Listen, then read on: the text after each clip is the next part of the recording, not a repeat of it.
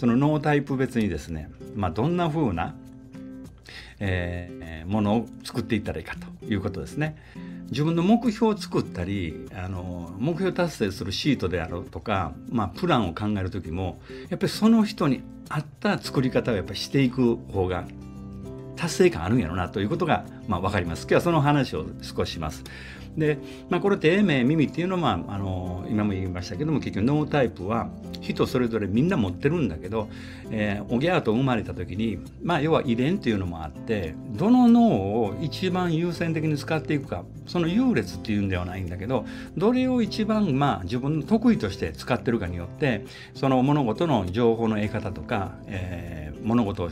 を習得していく、まあ、スピードとか癖がね変わってくるんですね。それとかよく、まあ、物を買ったり購入する時とかいろんな判断基準をする時にあの人はこうやこの人はこうやっていうふうにしていろんな情報を判断基準する時にこのノータイプによってみんな違うということが言えてますね。でまあざっくり言うとこういう感じで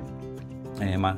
低タイプっていうのはどちらかっていうともう体感型なので、えー、その時良ければいいみたいな感じで常にねいかに楽しいかということをテーマに考えてるのであんまり目標とか書くのは嫌なんですね。でそれとか未来に向けて着実にいろんなスケジュールを組んだりですね計画性を持ったりとかそういうの結構嫌で時の流れ身を任せみたいなねあれ歌ありましたね。要はその今の時の流れに応じて楽しんでいくということがまず一つの、まあ、傾向があります。で名タイプっていうのはもうどっちかというとせっかち時計なので気急いでる感じがいつもあるんですね。だから常に10年後先とか20年後先って言ってもそんなに10年20年どうなってるかわからんっていう感覚でその未来は見てるんだけど単発的に結果を求めるっていうねそういったことも結構癖があるわけですね。で耳タイプの人っていうのはこれ逆にその今までと逆でですね緻密にいろんなことを計画して旅行なんかでもスケジュールをきっちり組んでやっていく、まあ、そういうのが得意で、まあ、論理立てていろんなことを分析してですね、まあ、自分に今どういうところまで経過分析してどういうところまで今達成してるからあとこんだけやっていこうかなみたいなところまで結構ね男性の左脳型的なちょっと要素があります。まああなたはどのタイプでしょうかなということをまず考えてですねその中でそのおのに応じた、えー、ライフプランの作り方とでそこでじゃあこのタイプが分かってあなたが低タイプあなたが名タイプ耳タイプとこうなった時にじゃあどうしていったらいいんやというところですよね。僕はある程度4050ぐらいになってきてる方に向けてちょっと発信するとそのいろんなその特性自分のこのノータイプが分かった時にそのままいくと他の脳タイプがの思考とか分からへんからしっかりとそこにアプローチして周波数合わせていきましょうねって普段講座では言ってるんですが矛盾してるんですがそれをしすぎると今度疲れるんですよ。あらってなると思うか分かりません。だから僕はね両方持っといたらいいと思うんですよ。自分が僕は名タイプですよねじゃあ名タイプっていうのはもうとにかくせっかちで生き急いで1年2年3年の間に結果を出したいみたいな感じでやってるからあんまり耳タイプのような地道に10年後にこんだけの貯蓄をしてこんだけの老後をきちんと資金繰りをして、えこういうふうなあのライフスタイルをしようっていう計画をどちらかというと立てにくいんですね。でそれを立てにくいからもっとしっかりと立てやなあかんあかんじゃないですかとか言われてアドバイスを受けると耳タイプよりの思考をもうちょっとしっかりしなさいよっていうアドバイスになりますよね。それもわかるんですね。でそれ分かった上で実は分かった上でもう50年生きてきてるっていうことを考えた時にその中で自分に心地のいいメンタルになるような部分とそれと手法としてそういうふうな耳タイプとか低タイプの思考も両方取り入れていくというこのミックスした状態でライフプランを作っていく方が僕はいいと思ってるんですよ。だから、えっと、このノータイプのことを知ってる人と知らない人によってまたこれも変わるしね。でこれ前提としてこのノータイプのこのことを知らない人を前提としていった場合はこの手帳の作り方目標の作り方なんかでもそうですね。例えば私低タイプでしたっていう診断を受けた時にじゃあその低タイプの人はどんなことしていったらいいかっていうことになります。例えば50今あなた50の低タイプとした時にあと40年楽しんでいくためのライフプランということになると低タイプの人はこの時間の楽しさというものを共有したいわけなんでしかも一人ではダメなんですよね。どちらかとたくさんの人々のコミュニティを作ったりするっていうのを一つの、えー、まあ、目標とかプランを作っていくとその、えー、低タイプにとってはすごく、まあ、充実した人生になっていくっていうことも言えるんですよ。これなぜかっていうと低タイプの人っていうのは人人が好きなんですね。人付き合いが好きだとか自分がその、えー、人々の間の中で自分がお役に立ててるというそういうとこが一つの、まあ、目標とか、えー、そういう存在価値っていうのをそこに見出したいわけですね。だからもしあなたが低タイプとして50歳の女性やとしたら目標として5年後とか10年後にはたくさんの友達に囲まれてたくさんの楽しみやイベントを自分で作るとかしかも体験型ってここ大事ですね体験をするようなものを作っていくこういうのを、まあ、一つの趣味としてもいいしコミュニティを作るという仕事にしていってもいいしということがまず低タイプには言えるんじゃないかなというふうに思います。これは僕僕のなりの見解なんでねもし間違ってたらあのごめんなさいですけどねそして名タイプの人ってじゃあ何かっていうとこう視覚型なのでどちらかっていうとこう情報を早く知りたいわけですよね。で今のチャット GPT なんかでもそうですけどこの世の中に今興味がパッと湧いた瞬間に誰よりも先にそういうものを習得したいとかあの目立ちたいというこれはもう願望としてありますよね。だから自分のあのライフプランの中に常に新しいものを取り入れていくための計画を作るとかで、まあ、僕なんか視覚型なんであのどっちかっていうと目で楽しみたいわけです。ということは分かりますね。世界旅行とか今まで見たことのない景色を見に行くとかそういうのが一つのライフプランの中に、まあ、趣味でもそうだし仕事でもね、50年、まあ、生きてきたら今度次10年後20年後何か今までやってないことをやりたいなって言った時に視覚として頭に入ってくるものそういうものを一つの目標に作ったりとかっていうのが大事かなと思います。それと目標を作る時はきちっと視覚型の人はよく言われますよね。目標のシートにいっぱいいろんな絵を積み込んで入れる。まあ僕のノートもそうなんですけど買いたい車とか何でもそ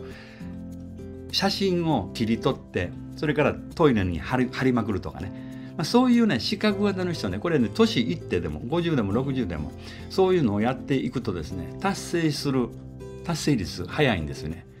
ね視覚型は特にね。で低タイプの人はそういうことを、まあ、あの目標シートに別にこうあの作らなくても低タイプの人は環境を整えることがすごく大事なんでやっぱり体感をしていくとか友達付き合いにいろんな体験をするっていうふうに自分を仕向けていく。一つの目標を作った時にそんな風にして、えー、同じ共有するような人と一緒に共に時間を共有するだけで達成していくんですよだから人なんですねだからそういうあの一つのライフプランを作る時にその人をどうチョイスするかちょっと言い方悪いですけど同じ、えー、価値観のある女性のグループに入ってるこれだけで達成していくということが言えますね。で視覚型はそれ逆に嫌なんですよね。人が一緒にやっているようなことをやりたくないんでちょっと一匹狼的なことをしたいという気持ちになったりする。これはあの50、まあ、僕なんか50ですけど今まではこういういろんなコミュニティ作って元気の出る会とかいろんなことやってきましたけども自分のこの人生をライフプラン将来に向けてかけていく時は本当に自分の、えー、もうコアな人もう本当に友達だけと一緒に付き合うとかね。そして新しい、えー、景色を見に行くとかね。もうそういうライフプランに切り替えていくっていうね結構僕それは今感じますね。若い時はそうではなかったけども50を超えていこうとした頃からそういう感じになってきました。で最後になりました聴覚型についてですね。聴覚型っていうのはもうもちろん聞いて分かります。耳ですよね。だから、えー、やっぱりどんな音楽を聴くかによってその人の、まあ、人生が充実するか。っていうことになってきますから、まあ、よく、えー、50歳以上になっていくと音楽療法とかそういうのを仕事にしてる人もいてるし、えー、音楽セラピストとかね、まあ、それと、えー、どういうコンサートに出かけるかとか、えー、とにかく音ですね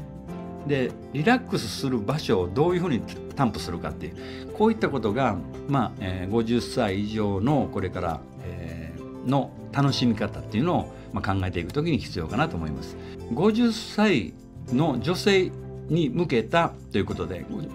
50歳ですよ。50歳の女性の、えー、に向けたまず低タイプね。低タイプの人はねとにかくねもうね体感体験だから手とかいろんなもん触れるの好きですね。だからマッサージ系とかピラティス。うちの、まあ、奥さんも最近行き出しましたけどああいう体験型ピラティスとか、えー、それそれからね何、え、マッサージとかうんヨガとかああいうコミュニティをできるだけに参加するっていうのはテレタイプ結構いいみたいですね。はい、で視覚型の僕なんかは逆にえー、例えば YouTube とか何でも動画とかでこう見てなんか刺激を受けるもの。それとかファッションショーに出かけるとかうんよくね百貨店でもやってますね。メイクのショーとか新しいそういうトレンドが入ってきた時の、まあ、そういうのを映像でどんどん覚えていくとかあのそういうのを刺激に入れるとかね。で聴覚型の人はこのね、よく今やってますポッドキャストとかオーディオブックとかいろいろありますけどもそういったものの、まあ、美容の取り入れ方とかいうのも最近多いみたいですので、まあ、そういう美容の関係の講演会行くとかしっかりとしたそういうセミナーに行くとか、まあ、そういうのが耳タイプの人の、まあ、一つの充実感ということになるということになってるみたいですね。はいまあ、確かにそのあのなんやろね50代以上の女性がこれから半世紀に向けて何かこうライフプランを作るってなってくるとすごく大げさに思うか分かりませんけど僕はいつも言ってるのは仕事の目標と自分のあの自己啓発の目標ですねあまあ、いわゆるその自分の成長という目標ねそれから地域との付き合いとか人のコミュニティとの付き合いとかで自分の趣味はどうするかとかいろんなその方向にさっきのあのマトリックスみたいなのありましたけどさっきのいろんな分野に向けてこの目標プランをつけていくっていうのは非常に大事かなっていつも思ってるんですね。でその中の一つに僕の場合は美容という、まあ、美意識とか美容に向ける目標を一つ作るとか、ね、で家族の目標とか、まあえー、そういうふうにしてこう分けて目標を作って、えー、人生の人生のプランを作っていったら面白いんちゃうかなということを思うんですけどね。ノータイプ別に成果の上げ上がるまあ言えばあの成果を上げやすくする方法っていうのがありますよね、えー、学習の方法ね。それからノータイプ別にどういう人付き合いをしていったらいいかっていうこの人の付き合い方っていうのがありますね。その中に恋愛とかもありますよね。恋愛とか、まあ、婚活活動とか、まあえー、男子男女との関係、えー、ね、ご夫婦の関係これも言えますよね。それからノータイプ別にまあ、商売としてお仕事として、えー、接客する仕方とかそれから、えー、制約する方法とかも違いますよねノータイプ別に。で今言ってるのはノータイプ別に人生のライフプランを作る作り方っていうことを、まあ、勝利さんがそういうね話を今回テーマとして持ってきてくれました結構大きめのねテーマになってますよね。あのまあ僕の今の本講座ではいろんなそのノータイプ別の、まあ、組み合わせっていうんかなノータイプ別のやっぱり特性っていうのを、えー、勉強してるんですけど、まあ、この間もクレームっていうのもありますね。まあ、人によってそのノータイプによってクレームの傾向値が全部違うというでそれをある程度こう分類していって、えー、響く言葉しっかりと、こういう謝り方をしたら納得してもらえますよっていうなんかいっぱいありますよね。そういうのをこう今勉強しててまああの今日のテーマも本当にさすがに人生プランということだったんで 結構ね僕もそういえばどんなことを今まで考えてプラン書いてきたかなとかね今日はトイレに貼ってる紙を見てたんですよ。やっぱりそのトイレに貼ってる紙も、えー、紙とかその、ね、どんな車買うとかってもある程度ねあのいつも持ち歩いてるんですよこうやってね。ノートにね持ち歩いてます。でやっぱり近づいてくるんですね。こういうなんか僕ら名タイプの人っていうのは特に目に入れていくと勝手にですね潜在意識に刷り込まれるのでよく似たなんかどっかで見た景色のとこ行ってたりねそういうこと結構あるんですね。だからまあそれは視覚型の名タイプのまやり方。で僕は名タイプのやり方でしかも耳タイプという要請あの特性があるので結構分析したりするのも好きなんですよだから名タイプのようにこう目標を作ってるけどそれの達成率がどうやとかこういうあのマインドマップって細かいところにこう自分で分析をしてまあ、あの本講座の資料なんか見ていただいたら分かりますよね。まあ、そんな風にしてそれが好きということはそこに達成感を見いだせるっていうことなんですよ。だからノータイプ自分のノータイプを知るということは自分をよく知るということにもなるので是非ねまだそのノータイプをしっかりと、えー、診断をされてない方はまあ僕なりねしおりさんなり、えー、いろんなところでまず診断をしてその診断の中でもあのここ最近分かってきたのは今はこんな診断の結果が出たけども付き合ってる人によって傾向値がちょっとこうこうなんていうかな化けていくっていうかな例えば夫婦で20年とか30年一緒にいて相手の旦那が耳タイプでやったら低タイプの人からすると結構しんどい部分があるんだけどもうまくいこうとするように夫婦仲をうまくいくためには低タイプの女性の方がちょっとこう合わして我慢するっていうことなんやけどこう調整してますよね旦那さんに向けて。そうすると旦那さんの耳タイプの思考がだんだん低タイプのその奥さんにちょっと移ってきてなんとなしにそういう行動になったりしてるっていう人が結構いてるんですよ。だからこの間もね これは生まれ持ったものやっていう人もいてるけども実は性格のようなもんでもあるんじゃないかなということをここ最近思ってましてでそういう見方を今最近して、まあえー、講座の中でもお伝えをしてます。はい、だからそういう経経過っていうのかな？それも踏まえて自分が今まではどういう人の影響を受けてこういう思考の癖があるなとかこういう行動をとってるなとかこういうことするのが好きやなということを客観視して理解していくその延長上に自分のまた未来に向けるライフプランの作り方っていうのが冷静に、まあ、読めるんじゃないかなと思ったりするんですよ。人の真似してもあかんと思います。これも僕もそうですけど、あの分かりやすい例で言うとセールスの目標のグラフ書いて、えー、例えば何百万売り上げ上げようっていうグラフ書きますよね、まあ、保険屋さんなんか行ったらあります。貼ってますね。あれがねいいタイプの人とねあれがね苦になるタイプの人があってね結局ねあの成果がね逆になる場合あるんですよね。だからどんな、えー、作り方をしたらあのいいかっていうのはね万人受けしないんですよね、うん、だから低タイプの人なんかはあんまりその目標をあの、えー、耳タイプのように目標目標って言っていろんなグラフ書いたりとか計画的にガーッとやるやる部分を勉強したところでねそれが それが自分の心の上に行ってしまうともうね苦痛でしかなくって行動ができなくなるんですよね。だからそういう部分でちょっとそれをおまけっていう程度でちょっと知っておいてでも自分の低タイプのいいところっていうのはやっぱり楽しんでいくことであったり人付き合いを最優先することであったりすると結果として売り上げがついてくるっていうそういうこともね結構ね低タイプの方の特徴ですね。だからまあ目標の作り方ライフプランの作り方っていうことやったんで今日ちょっといくつかいろんな脱線もしながら喋ってますけども楽しく豊かな人生を送るっていうこのねキーワードね簡単そうですけどねこれすごいね自由に生きるっていうのとよく似てるんですよ。自分は自由に生きるためにって言った時に自由に生きるためって結構するためには相当いろんなことを、まあ、経済的なこともそうだし時間もそうだしその人付き合いもそうだしいろんなことをあの考えなきゃいけませんよね。でここにも書いてるその楽しく豊かな人生っていうことは楽しくしかも豊かでその人生を送るためにってなってきた時にそれこそノータイプによって本当に違うんですよね。低タイプの人の,、えー、その豊かさって何か名タイプは何か耳タイプは何かで達成のした時の達成感っていうのもこのタイプによって違うんですよ。うん、全く一緒じゃないんですね。だそういうのも考えて自分で自分の人生のプランを自分で脚本書くっていうことをまあおすすめします。はい、あの自分の脳タイプにを知って自分の脳を喜ばす方法は自分にしかわからないでしょ。だからそれを優先してやっていく。これ大事かなと思ったりします、はい、意外とねあの僕もこんなこと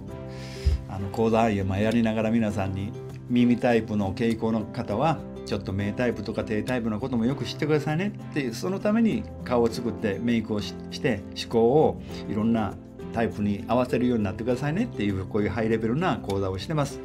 だけど全て3つの脳タイプをができたっていう人は今度は自分が一番ということを考えてやる。それがね最終的に今言った豊かっていうことになります。これあのどう違うんかというと知らないのと知ってやるのではえらい違いなんですよ。だからこの3つの脳タイプを知った上で合わせていくと。いうふうにねこれからやってもらえたらなと思います。でそういうことでねじゃあこの辺で終わらせていただきます、えー、日曜日これからね楽しんでください。じゃあまた来週お会いします。ありがとうございます。バイバイ。